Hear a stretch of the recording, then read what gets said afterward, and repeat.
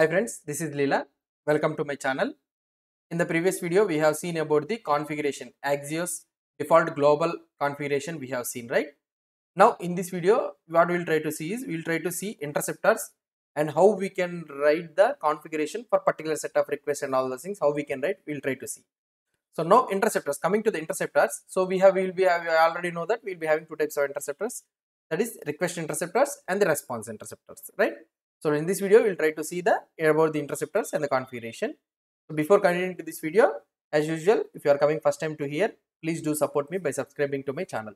Okay, so that I'll be posting more and more uh, front-end development courses. Now coming to this video, here you'll be able to see the interceptors. Here you'll be able to see Axios interceptor dot request. Okay, I can copy this one directly, and I can go to the main here. Okay, I can go to the main here, and what I can do is I can just paste it directly here. Okay, so this is the request interceptor, and here I can go and I can copy this one and I can paste automatically this one also. So this is the response interceptor. Let's try to see the output. Now these both are the response interceptor and the request interceptors, right? So here you are writing the config. Here if you want, you can write something like config dot headers okay. Of or otherwise you can write dot common anything. Dot common of interceptor okay header. You can write interceptor header is equal to interceptor header. So through the interceptor i am passing the headers so he, these are the default common headers okay. This is the interceptor common header. So through the interceptor. So for for any for any request we are making through the axios this interceptor will execute between before any request and it will add all the uh, configuration all the headers for this. What are the configuration headers and all the things you want you can add it here and you can return the config here. Now let's try to see the output.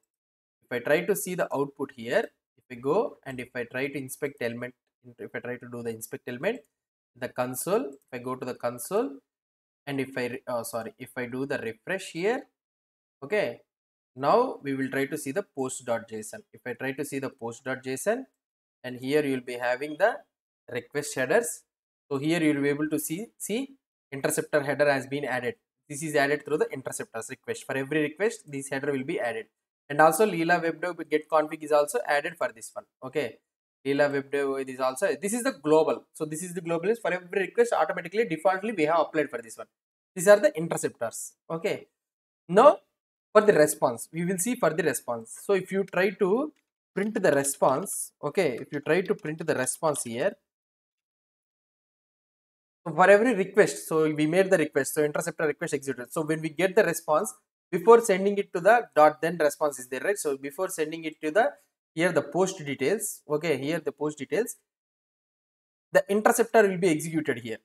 Interceptor. So if you want to change the response any data you can change it directly so if i try to print this post response here if you try to see if i try to refresh this one okay if i go to here you will be able to see the response see now what i will try to do is here i will try to change the data okay. Now what i will try to change change the data is so here i will tell response dot data okay.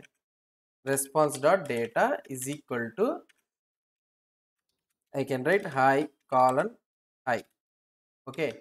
So i am changing the response so for every get request for every axios get request the response will be hi hi only. So for example if you if you want to try the see see the data now you will be not able to see. See here you will be able to see hi see.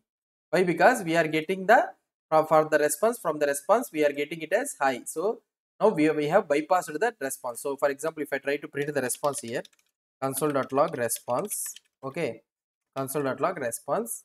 And if we try to check the response here so if i try to refresh it this one okay here we will be getting the response so here we are getting from the post details if you see here the file name also and if i try to see the data see hi hi so that means i have bypassed the response so that is the reason we are getting hi hi instead of getting the main response. So in this way, using the interceptor response, we can bypass the response.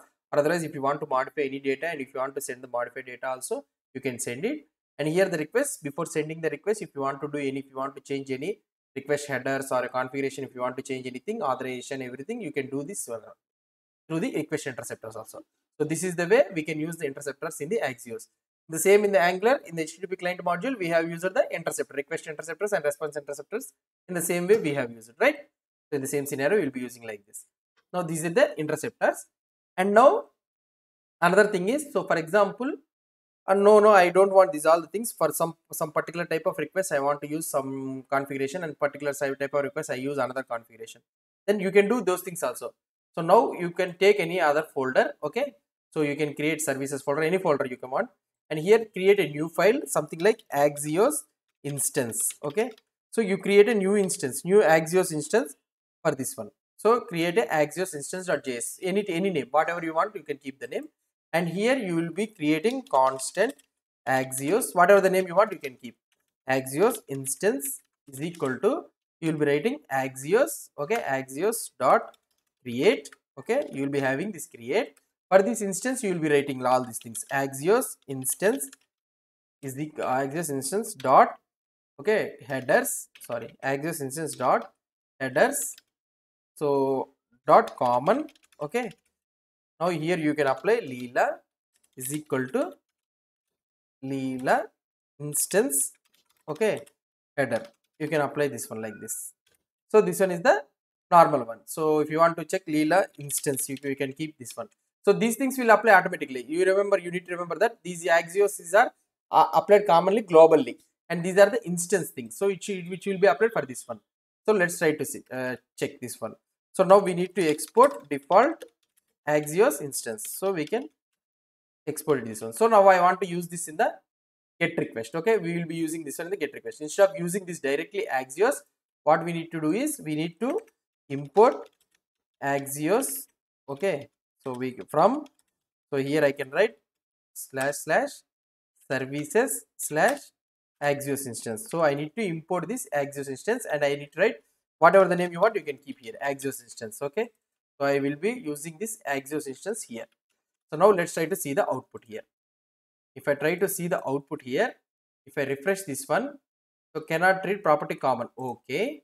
So what is the problem we are getting here? Axios instance. Okay, headers dot common. We have written something like this, right? So I think we need to read defaults also. I think I didn't remember exactly. Okay, yeah, I think defaults also we need to write. I think. Okay, now we let's try to refresh this one. So now we are able to see localhost uh, we are getting error C. Why? Because those axios it, it has not been applied.